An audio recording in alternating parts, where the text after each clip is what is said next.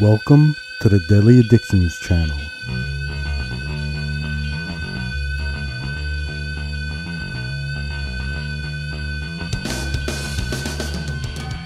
Thank you, everybody, for joining my channel. I'm going to be talking about Star Trek Voyager. Star Trek Voyager might be a crowning achievement for Star Trek. It might not have the presence Deep Space Nine had in the sense of a living space, of a character in the space station itself. Voyager took the five year mission of the original Star Trek, the mythos of lore, and turned it on its head by sending it, or an accident which sends it so far away from Earth that it'll take 70 years to get back at maximum speed. So they start heading back to Earth, and it is just a refreshing take on Star Trek, and in my opinion, not only the first female captain, but maybe the best captain.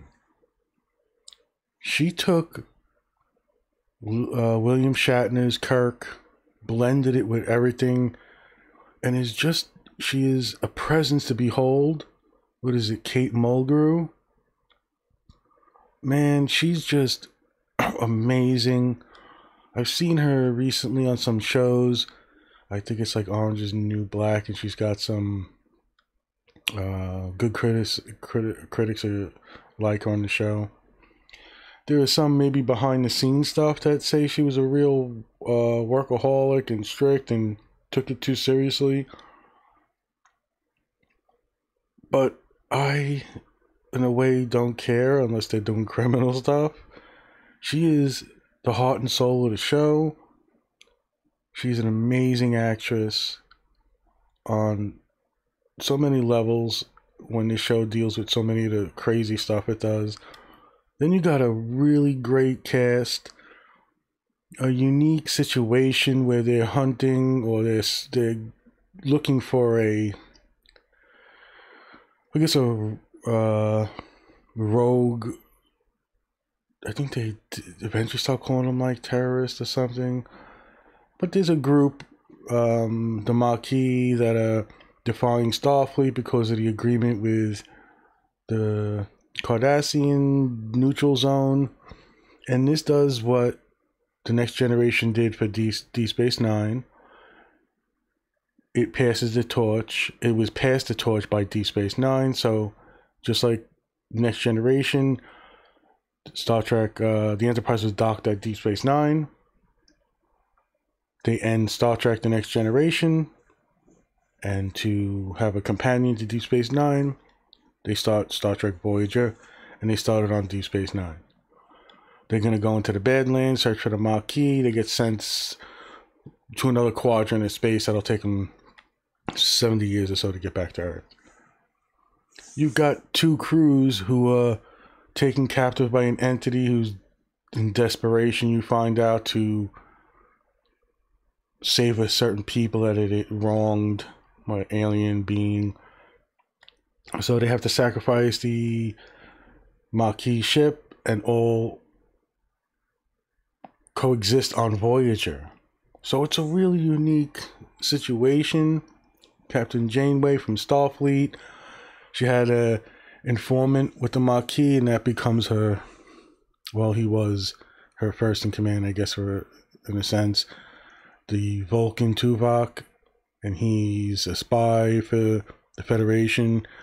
And one of the Maquis was a former uh, Starfleet commander, I think, and he was given the first in command. And then they had to blend the crews and get through the, um, you know, all the troubles of a uh, ragtag group who had been fed up with the Federation, and that you know shows through throughout the whole show almost, or for a good portion of it.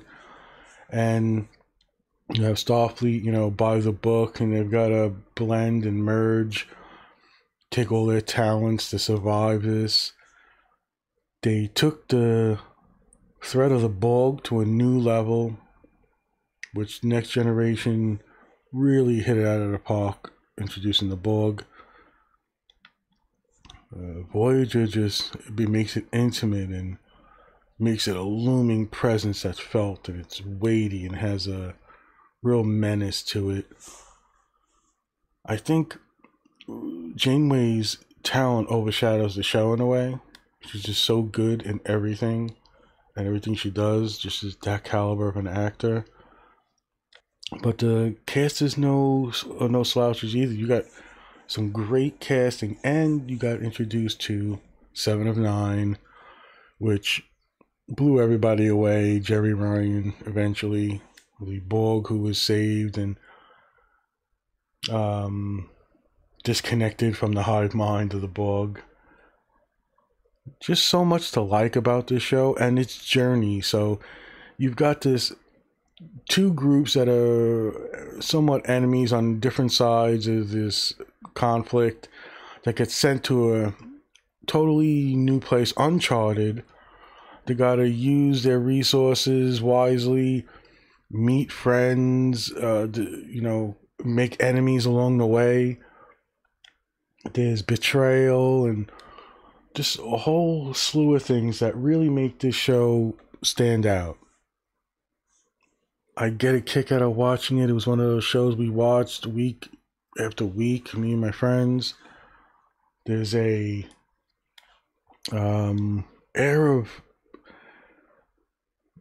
power around Janeway, and when she brings people into her fold, there's an electricity. She has a way of engaging with a crew member if they're coming up with a good idea, and it becomes so engrossing.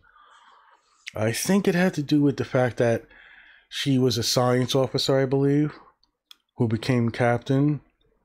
So she's got all these quirks of a science officer underneath this.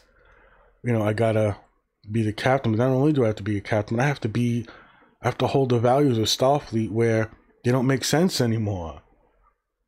You're in a different quadrant. There's rules are different. There's no friends. There's little connection anymore to what's going on with Deep Space Nine, which another quadrant of space was using the wormhole to start a war. They are so far off the beaten path that everything is new. You got new aliens, new ways of treating societies and bringing fresh blood into the franchise.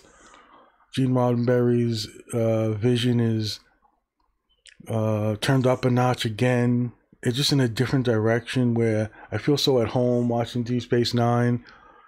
There's so much um, variance and emotion and threat level where there's good feeling, fun shows, and there are pulse pounding wartime moments. And Voyager, it has a focus that's unique.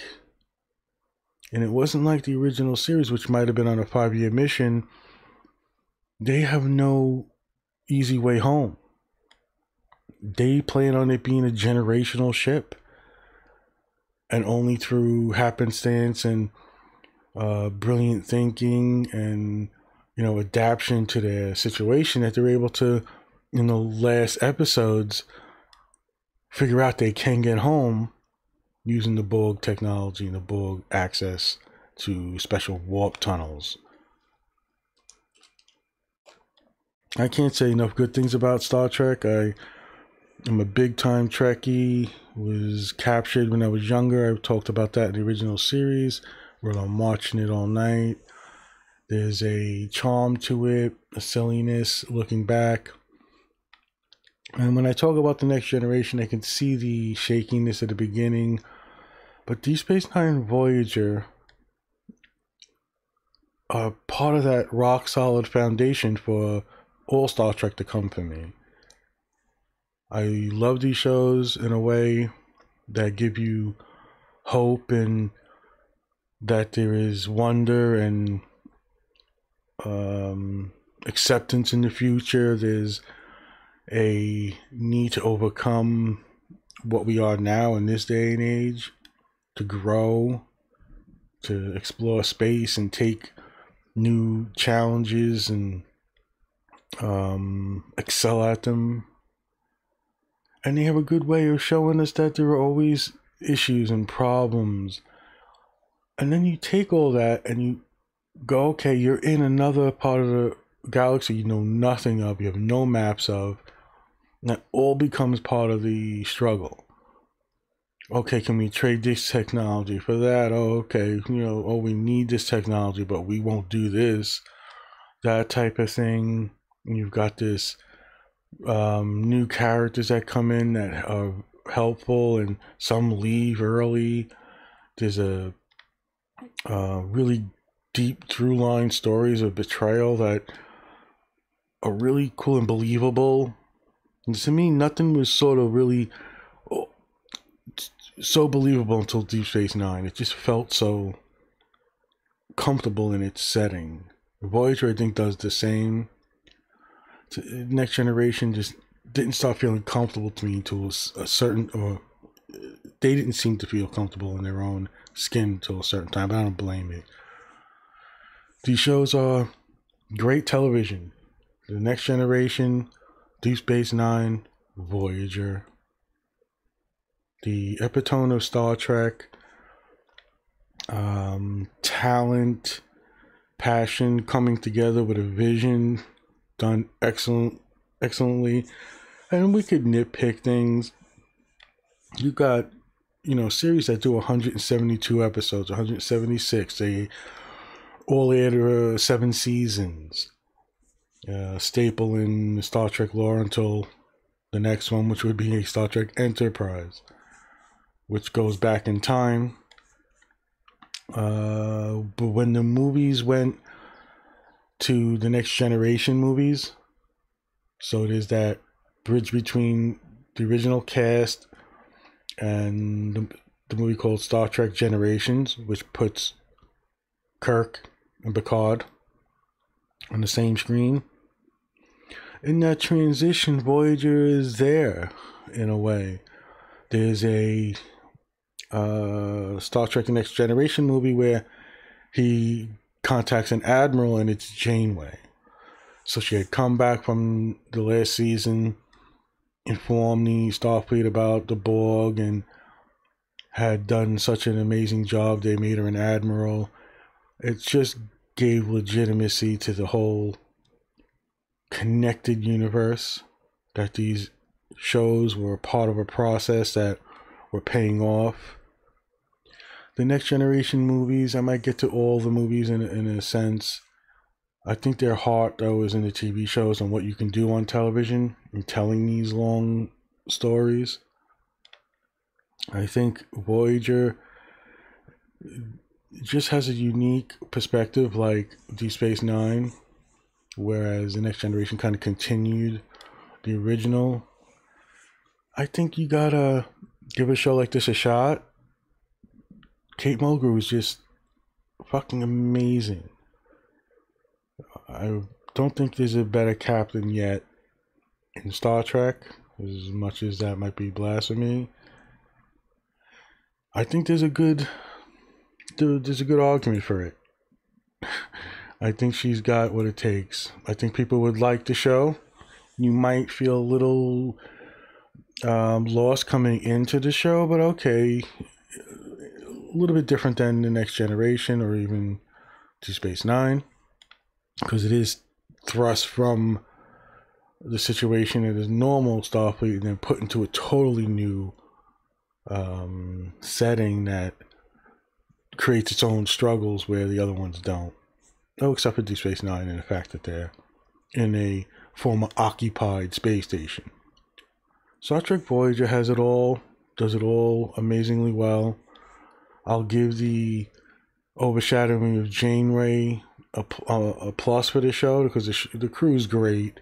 The actors are good. The chemistry is on point, although maybe behind the scenes stuff wasn't so, you know, uh, rosy, cheeky, fun stuff. Uh, sometimes it's good to be professional because you can make a show like this.